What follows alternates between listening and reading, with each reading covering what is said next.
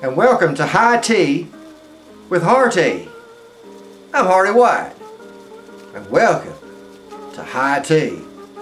I don't say English high tea because this is not the same tradition as English high tea. They have a very specific thing that they do, very type of specific Indian person they exploit to get their tea and then they soak them in hot water until they tell them where they get their tea leaves.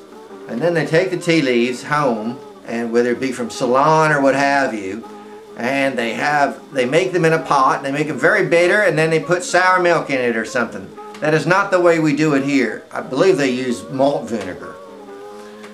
Uh, the way we take our tea here is very different. And though I'm using a traditional English blend today because in honor of the English and their original kind of high tea uh, I am not uh, it's a called, called P&G tea is what it's called or Procter & Gamble tea look what I'm having it Look at this teacup today. Today's teacup.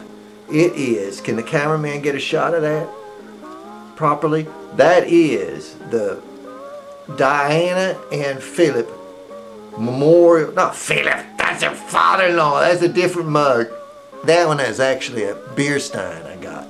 No, this is the Charles and Diana marriage wed Wedgwood, and they got married uh, when did they get married? Does anybody remember that? Now, see, here's the thing, though. When I drink it, I'm looking at them. Now, you're going to look at something else.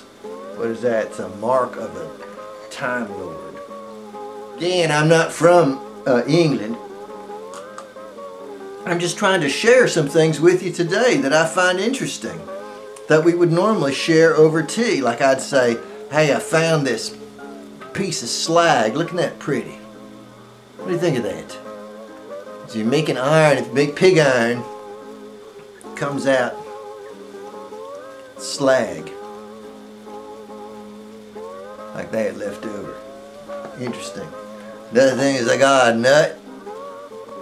Found a nut. And also, this, uh, put these on for that, this one. This is a an emergency, got this at the Spy Museum. I didn't get it, a friend got it at the Spy Museum in Washington. And you use it in your car. If you have an emergency, it's got everything on there. Little mini gun that shoots out the window if you're trapped in your car. And it's also got a light, it's got an emergency signal. If you're, oh no, if you're, ah, so whoops, that's a, wow, that almost attracted attention. Also has this, you pull this out, and you can cut a seatbelt with it like this. If you're being held by the seatbelt. If the seatbelt becomes sentient, which often will happen, you can you slice it up like that, and it will. And, but you got to take a chunk out of it. It's like English ivy. Otherwise, fuses again like that. You want to see cell division?